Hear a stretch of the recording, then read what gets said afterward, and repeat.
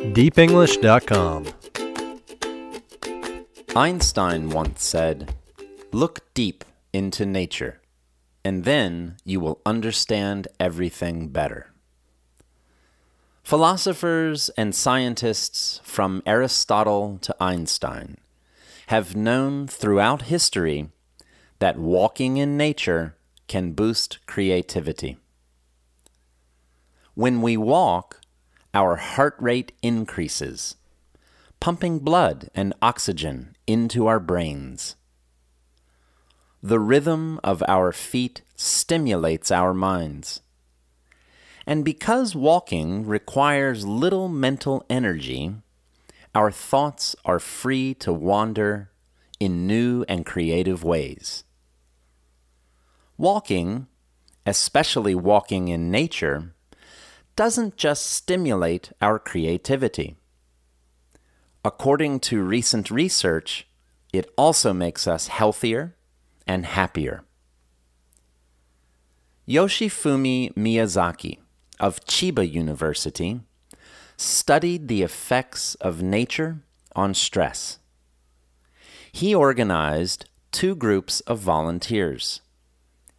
84 of them walked in nature, and 84 of them walked in a city.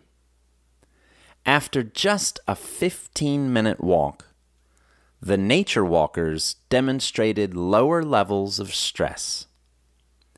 Their blood pressure fell by 2%. Their heart rate decreased by 4%. And their levels of cortisol, a stress hormone, dropped by 16%.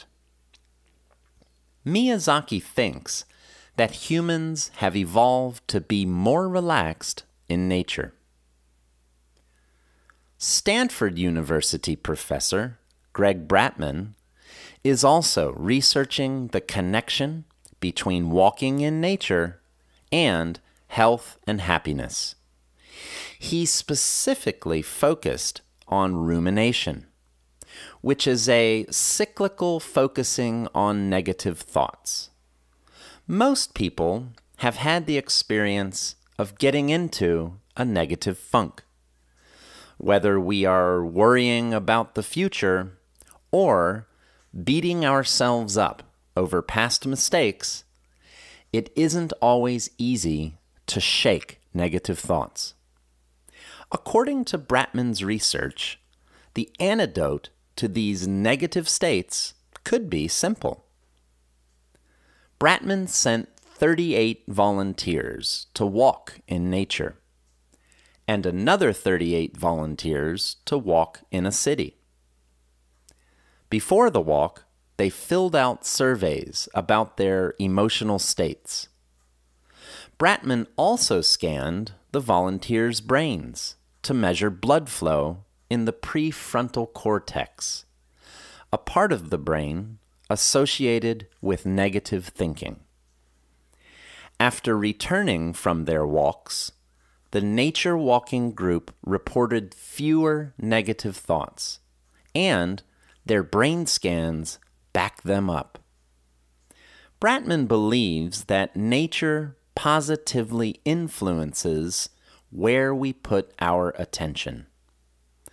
While most of us don't need science to tell us that nature is healing, perhaps it can nudge us to step away from our screens and spend more time outdoors.